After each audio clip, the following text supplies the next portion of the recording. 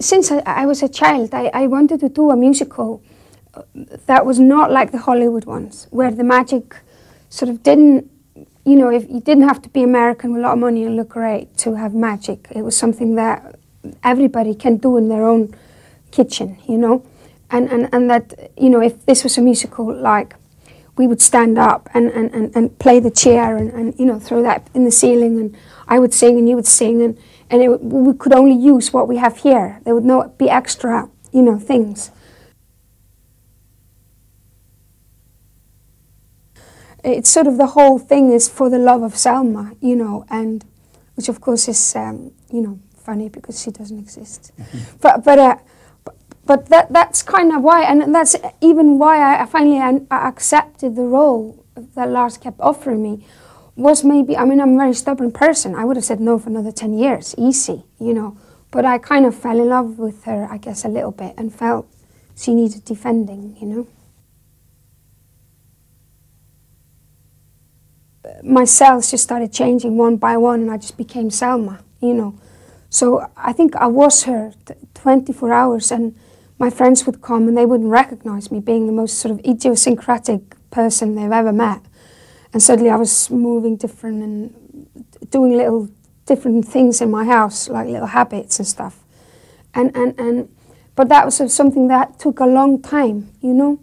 And, and, and by the time I was acting, I wasn't thinking about it at all. Yeah. It, I was just Selma and, and I was just waking up and I was just killing a man and, and, and feeling like I killed a man, you know? Which to a certain degree people could think of being is quite naive, but but uh, I also I, uh, that's that was the only way I could do it, you know.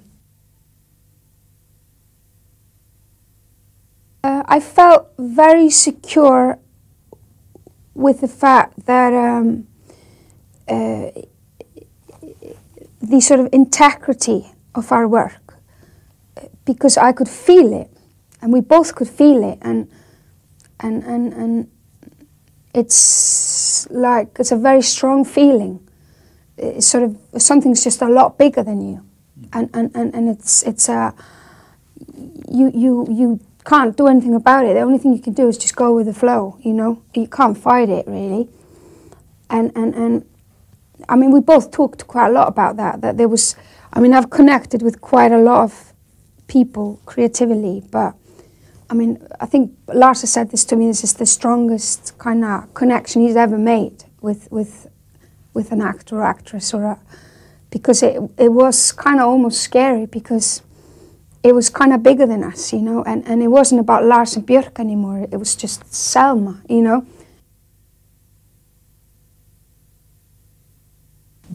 what, what, what, do you admire about Lars? What, what, what were the good things about working with Lars?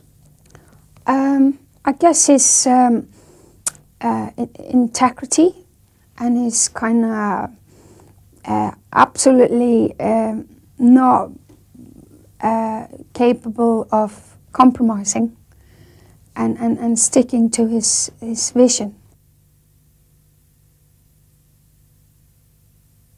I mean, what was difficult was that he's not used to like things like demos and stuff. So so he would hear something and then he would say no, and then he would hear the same thing a month later and he wouldn't recognize it. And, and, and then you would just go ahead and arrange it anyway and record it with the orchestra. And he would say, Oh, this is fantastic. Why didn't you play this to me before? And, and you just kind of find it cute. But, but I think in that sense, um, I mean, we both knew, we were completely honest about that, that I, I don't know how to act. I've never done that. I'm completely ignorant. You know, what, what do I do? Do I learn my lines? You know, what, what door should I open? You know, I, I didn't know anything, you know, and that's where he protected me. And, and, and so where, so on the music front, I mean, it was quite obvious. I mean, a lot of the things he said, I just had to kind of ignore because I knew he would des describe 100 things and I had to go for, you know, thing 23 or something and pick it out and in that way sort of protect um, you know, be responsible for the final outcome. Yeah. Lars wanted me to kind of do all the lyrics and actually sort of improvise them that's how, what we started like. But then I felt, in a way, to lose my ego a little bit and to make it Selma's, Lars should write the words.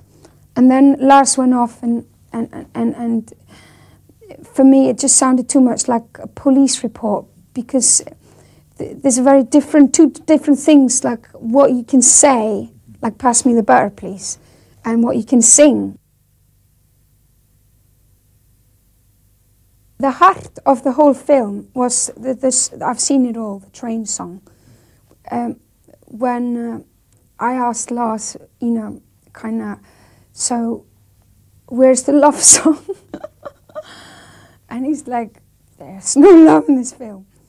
And so I ended up sort of, I, mean, for, for a woman of that age, I mean, that must be her first standpoint, and the rest sort of falls into place around that. Mm-hmm. And the fact that she didn't want love, she, she was, she could have had it if she, if she wanted it, but she didn't want it.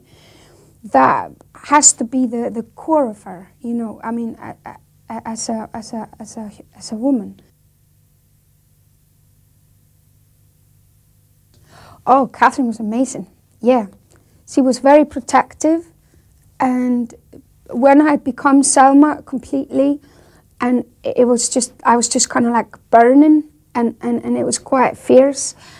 And, and, I, and, and I knew this was the only way I could do it, was just to go all the way.